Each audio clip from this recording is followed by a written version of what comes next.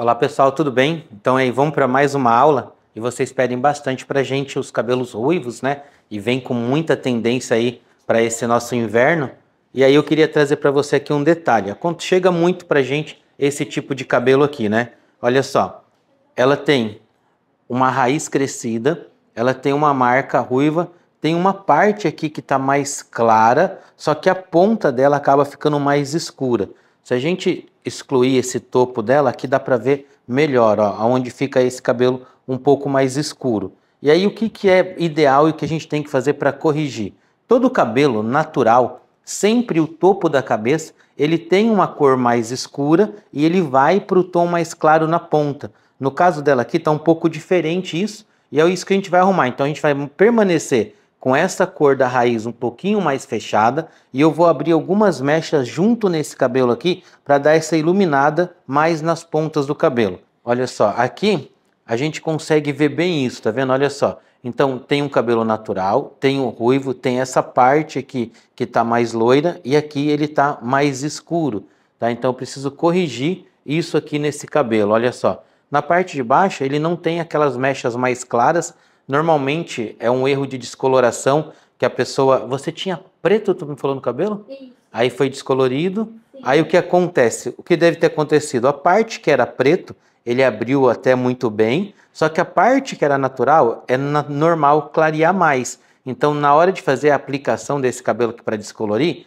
o profissional deveria ter descolorido só onde tinha coloração e depois feito a descoloração na parte natural do cabelo. Alguns cuidados que a gente tem que tomar na hora de fazer a cor do cabelo, tá? Então vamos lá, a gente vai começar aqui corrigindo essa raiz dela. Eu não vou descolorir a raiz dela, eu vou criar a cor dela baseado nessa cor mais escura que eu tenho aqui. Já até conversei com ela sobre isso, a respeito disso, para ficar mais fácil para ela manter esse cabelo ali. E depois a gente vai criar aí uma cor mais para esse comprimento. Então, olha só, a gente precisa aqui dar uma dica para você quando você vai fazer um retoque de ruivo, tá? A cor escolhida ali para fazer o cabelo da nossa cliente, Vitória, lembrei. A cor escolhida para fazer o cabelo da Vitória foi 84 mais 80. A coloração sem amônia vai ajudar a clarear o cabelo natural dela e o 84 vai criar a cor fantasia para ela. Só que o ruivo ele tem um problema muito sério. Quando a gente faz, parece que fica aquela raiz acesa, fica muito artificial a raiz se você fizer só isso. Por isso eu vou acrescentar na receita um pouco do 821 né, que é uma cor fria dentro da London. Então eu vou fazer aqui para vocês terem uma ideia. 30 gramas do 80, 30 gramas do 84 e só 5 gramas do 821, que vai me ajudar esse cabelo a ficar com aquela raiz mais natural, com um crescimento mais natural. Sempre que eu for retocar a raiz dela a partir de hoje, vai ser essa mistura. E para o comprimento a gente vai criar uma outra cor que já eu mostro aí para vocês. Então eu coloquei aqui 30 gramas de cada, né? vou colocar as 5 gramas do 821 e eu não conto ele para colocar o OX, tá? Então vou colocar aqui 5 gramas e vou colocar 60 ml de OX de 30 volumes, que é a cor que eu preciso, a quantidade que eu tenho que abrir aquela raiz natural lá. A proporção de mistura é 1 para 1, então. 60 de massa 60 de OX.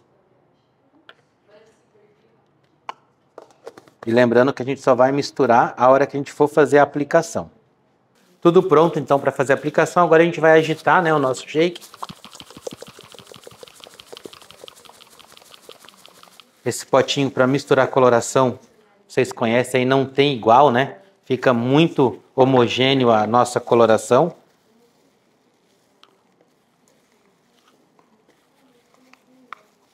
Eu vou começar aplicando então aqui da parte superior, no meio. É importante a gente depositar uma quantidade bem generosa de produto quando a gente está fazendo ruivo, tá? Vou depositando esse produto aqui só na raiz natural dela.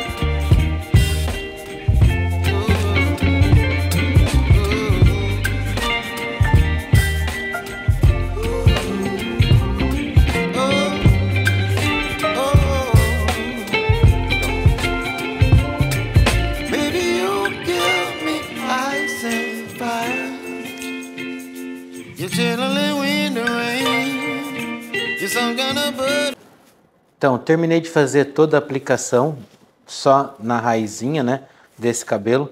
E agora a gente vai fazer o que a gente chama de cross-check, que é a checagem por cruzamento aqui, para a gente saber se foi bem aplicado e não ficou nenhuma partezinha de fora de aplicar. Então, como eu fiz toda a aplicação em mechas na horizontal, eu vou refazer agora a reaplicação com as mechas na vertical. Então, eu vou abrir aqui o cabelo numa vertical e só vou ajustando aqui a minha coloração para que eu tenha certeza que o cabelo ficou todo bem aplicado e não vai acontecer de ficar aqueles gatinhos, né, na coloração. No ruivo mesmo é muito comum da gente ver isso, o cabelo fica manchado. No ruivo é muito comum a gente ver cabelos manchados por conta de aplicação errada, tá? Então, o ideal aqui é ter certeza que a gente fez essa aplicação bem feita. Só vou abrindo agora o cabelo todo, mecha, mecha, e ajustando aqui a coloração na raizinha. Como sobrou coloração no pote, não adianta nada eu deixar aqui no pote porque ela vai para o lixo, né? Então eu vou vir aqui e vou depositar esse resto de coloração na raiz, que é onde ela precisa funcionar. Então, olha só, estou terminando de fazer o contorno. Eu, particularmente, eu não gosto de passar creme protetor na pele, porque se o creme pega no cabelo, evita de colorir o cabelo. Então, com bastante cuidado, com o pincel aqui, a gente vem e faz esse contorninho para ter certeza né, que pegou todos os cabelinhos aqui. É melhor uma leve manchinha ao redor do rosto do que esse cabelo sem ser colorido, tá? Então tomem bastante cuidado, caprichem bastante aí nessa parte. E agora a gente vai começar a clarear esse cabelo aqui para criar esse encontro de cor que a gente precisa, tá bom? Então olha só, agora eu vou preparar aqui o pó descolorante, né? Eu coloquei 60 ml de OX de 20 volumes e vou colocar 30 gramas do pó descolorante Trend Blonde Plex, tá? Na proporção de 1 para 2, porque eu vou trabalhar com esse cabelo a mãos livres. E aqui, o segredinho que vocês já, já devem ter a gente falar, né? Aonde a gente coloca primeiro o OX e depois coloca o pó descolorante, porque assim a mistura e a textura do produto fica muito melhor para a gente fazer a aplicação, ok? a gente já vai lá, vamos aplicar lá para vocês verem. Então agora eu vou começar a criar esse clareamento desse cabelo. Vou trabalhar sempre com mechas diagonais na parte de trás.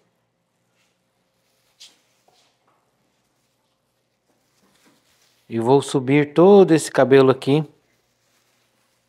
com essas mechas diagonais, criando, tirando esse escuro que tem nessa parte do cabelo aqui, ó.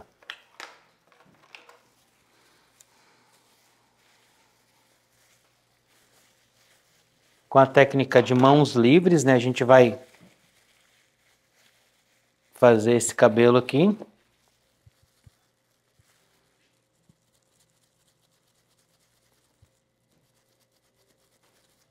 aonde tem essa concentração maior de desse ruivo mais escuro, a gente pode dar uma clareadinha mais e levar esse cabelo aqui para as pontas, aonde eu quero essa ponta aqui, ó, mais clara.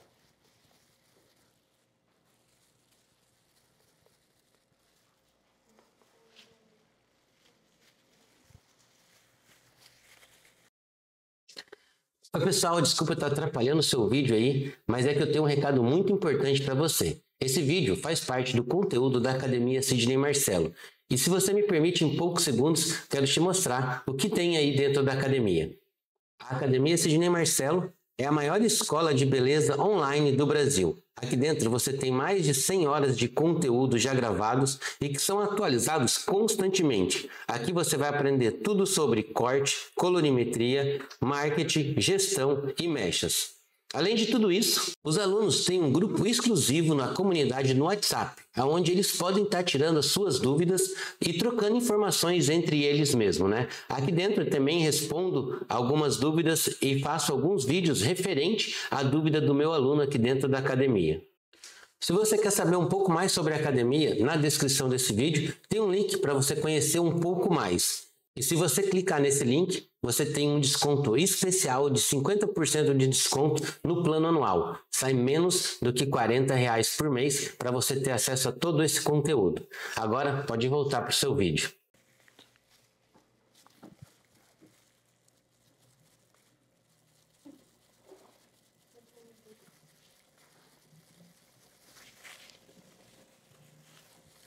Vou trabalhar aqui todo esse cabelo sempre com essas mechas diagonais para evitar marcações no cabelo nela. A ideia aqui é tirar a marcação e não criar marcação. Eu só preciso tirar mesmo essa parte mais escura que está no lugar errado aqui, que está do meio para baixo.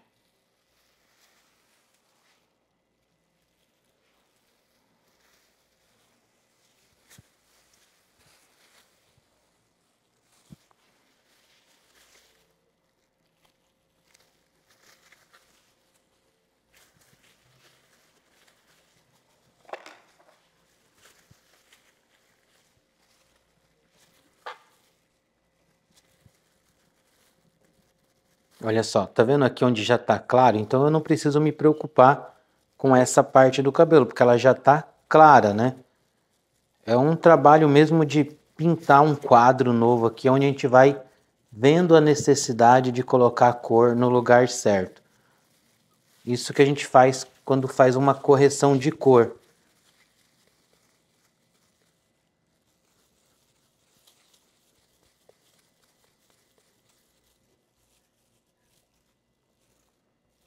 E aí a gente acaba equilibrando a cor do cabelo, tá?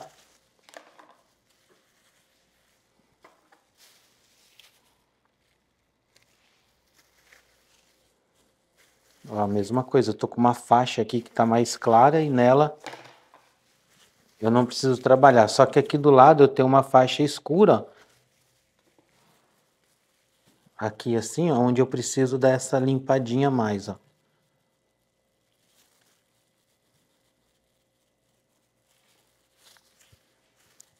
Eu conversei com a Vitória ontem antes de fazer o cabelo eu estava explicando para ela que o ruivo ele não precisa ser inteiro da mesma cor, porque eu acho se isso acontecer, eu acho que o ruivo fica feio. Ele precisa ser, né, ter outras tonalidades de ruivo para você ter um cabelo natural, mas sempre com o topo da cabeça mais escuro e as pontas mais claras, tá? Por isso que a gente está criando esse efeito aqui no cabelo dela. Vou dar continuidade aqui na parte de trás e já a gente volta ali para a parte da frente para vocês verem o que eu vou estar tá fazendo, tá? Pessoal, então olha só. Terminei aqui de fazer a aplicação na parte de trás, trouxe todas as mechas diagonais, né? Fiz uma aplicação, não tem problema a mecha ficar em cima, até porque a parte de trás da mecha ela não suja, então a gente consegue colocar aqui por cima e a ideia é que essa parte aqui, ó, essa região do cabelo, fique mais clara. E aí também trouxe algumas veias aqui para criar uma naturalidade melhor no, no, na passagem da cor da raiz para o comprimento. A gente vai partir para a lateral agora e eu vou criar a mesma coisa. Também vou trabalhar com mechas aqui na diagonal até chegar lá no topo da cabeça dela, valorizando mais os traços do rosto dela, tá?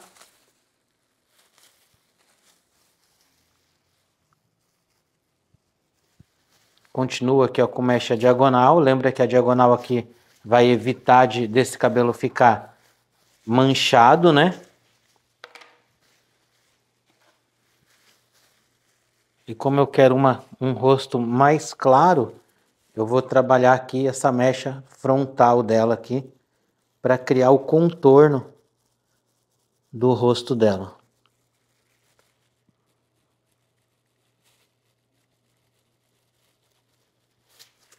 Aquela parte que está mais clara ali eu não preciso mexer. E no comprimento aqui eu preciso depositar mais produto. Ó. E novamente a gente vai agora até o final dessa sessão com essas mechas diagonais, lembrando de abrir bem o contorno dela. Beleza? Terminei então de fazer toda a aplicação aqui né, das nossas mechas para criar esse clareamento no cabelo. Agora a gente vai aguardar um tempo de pausa para conseguir esse clareamento. É importante que esse tempo de pausa aqui seja mais do que os 40 minutos que a coloração precisa para agir, né? Então eu já devo ter uns 20 minutos que eu apliquei essa coloração, mais uns 20 minutos agindo nas mechas. Eu vou ver que cor que vai abrir esse fundo. Se já tiver suficiente, a gente vai lavar e aí eu vou lavar todo esse cabelo para tirar a coloração da raiz e vou preparar a fórmula número 2, que a gente vai colorir o restante do cabelo dela aqui. Então olha só, chegamos aqui ao final do tempo de pausa. Agora eu vou lavar esse cabelo com shampoo, condicionador e aí eu vou secar ele para aplicar aí a segunda parte da coloração. Lavar normal, vou tirar aqui agora com shampoo e condicionador normal e vou secar e daí eu mostro para vocês aí a fórmula que a gente vai usar nas pontas dela.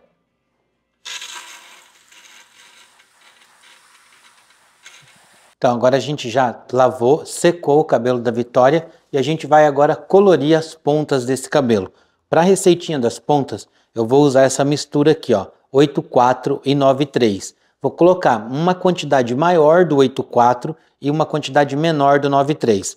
Por exemplo, aqui eu vou colocar 40 gramas do 84, 20 gramas do 93. E eu, como eu vou usar só tonalizante, a proporção de mistura é 1 para 2, com OX de 10 volumes. Então eu tenho 60 gramas de massa, 120 ml de OX, e aí eu vou fazer essa mistura e vou aplicar no cabelo dela ali todo aquele comprimento. 40 gramas do 84, 20 gramas do 93,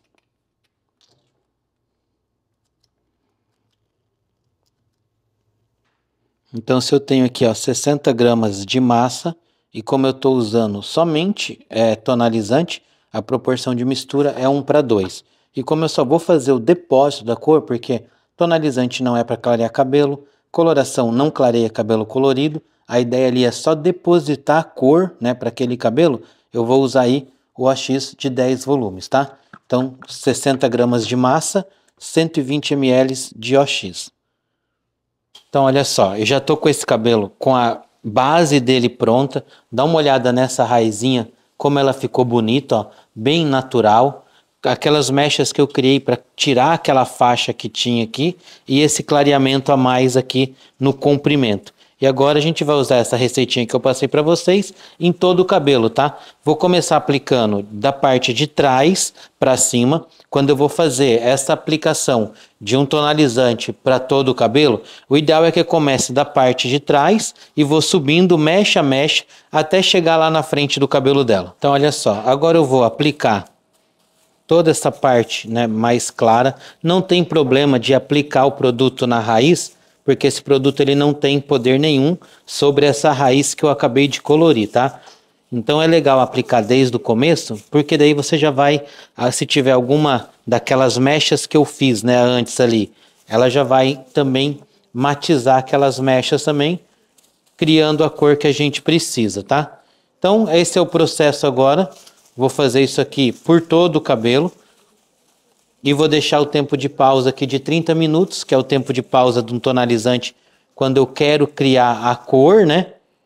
E depois é só a gente lavar e eu venho aí com o cabelo pronto para vocês. Então, olha só, a minha preocupação desse cabelo sempre foi essa região aqui, ó, tá vendo? Como aqui eu já tenho o meu ruivo, aqui eu já clareei mais e aqui ele tá essa parte mais é clara um pouquinho, né? Essa cor que eu estou usando agora vai servir para equalizar essa parte aqui, ó. Então depois eu mostro para vocês aí, na hora que estiver pronto, como é que ficou. Por isso, né, a gente até estava conversando aqui, o cabelo estava bonito já, parecia que estava pronto o cabelo, mas pelo meio dele tem, né, essas marcas e a gente vai equilibrar esse cabelo fazendo isso aí. Por isso que eu estou tonalizando agora a ponta do cabelo, tá? Terminei então de fazer toda a aplicação do tonalizante no comprimento e pontas aqui, né? Agora a gente vai deixar um tempo de pausa de 30 minutos. Depois eu só vou secar, lavar esse cabelo normal, shampoo, condicionador, vou secar ele e aí eu mostro o resultado para vocês, tá bom? Não vou mostrar lavando porque não, não tem nada demais, é só shampoo e condicionador mesmo. E daí a gente mostra o resultado final para ela não ficar até muito longa aí. Finalizamos aqui o cabelo da Vitória. Dá uma olhada neste cabelo, se não ficou um luxo, né? Eu finalizei com um corte também, o cabelo dela estava um pouquinho pesado, então para dar mais leveza a gente fez aí um cortezinho no cabelo dela, tá? Mas preste atenção na cor desse cabelo. Quero que vocês notem bastante aqui o, a raizinha desse cabelo, que foi aquela dica que eu dei para vocês do 821 ali, né? Como ele deixa o cabelo mais natural e não parece, já viram aquelas loias, ruivas que a gente vê parece que pintou até o couro cabeludo, né? Aqui não, você vê uma naturalidade nesse cabelo, né? Quem olhar para ela vai dizer assim, nasceu assim. E olha o equilíbrio que a gente deu para as pontas desse cabelo. Aqui então a gente tem o cabelo dela, olha a cor que a gente conseguiu equilibrar, né? Tirou aquela marca que tinha nesse cabelo aqui. E olha só. Todo ele bem mais natural, com a raizinha natural e vindo para esse cabelo mais escuro em cima e indo para o mais claro embaixo, né? Aquelas mechinhas que eu criei, se vocês verem aqui, ó, entre elas, né, vai aparecendo esses pontos de luz e é o que deixa esse cabelo mais natural, né? Então, essa aí aqui na ponta, a gente usou o 84 mais o 93 com a X de 10 volumes e na raizinha foi o 80 com o 84 e o 821 com a X de 30 volumes, tá? Pessoal, então é isso aí. Espero que vocês tenham gostado dessa aula do ruivo aí. É um cabelo assim que dá um certo trabalho, mas é, é muito legal assim. Até quando a gente virou a Vitória, ela ficou surpresa com a mudança, né? E a partir de agora o cuidado é muito simples. Ela precisa é, levar um capricho de fazer o retoque de raiz de no máximo 30 dias. O ideal para você ter um cabelo ruivo bonito é 21 dias, ou seja, três semanas ela já está na hora de retocar a raizinha e aí a gente não vai precisar mais mexer no comprimento. A gente vai só fazer aquela mesma receita que eu fiz para a raiz, 80, 84 e 821, vai colorir a raizinha dela, deixar os 40 minutos de pausa e tá feito a cor do cabelo dela, tá? Só que se ela passar muito tempo, uns 40 dias, por exemplo, cresce demais o cabelo e aí eu não tenho poder de abrir, porque o cabelo com mais de 2 centímetros de comprimento já não é mais raiz. Aí talvez eu teria que fazer de novo um efeito de mechas nele para equilibrar esse cabelo, tá? Então se você vai fazer ruivo, deixa claro isso para sua cliente. Ruivo é um cabelo bonito, mas ele é trabalhoso, precisa ter esse cuidado de no máximo 30 dias você estar tá fazendo um retoque, ok? Obrigado por vocês assistirem essa aula aí e até a próxima aula aí na academia. E se você gostou desse vídeo, não se esqueça de se inscrever no canal e toca no sininho para você ser avisado sempre que a gente publicar vídeos novos. E aqui no card vou deixar um novo vídeo aí para você continuar o seu aprendizado. Até mais e a gente se vê no próximo vídeo.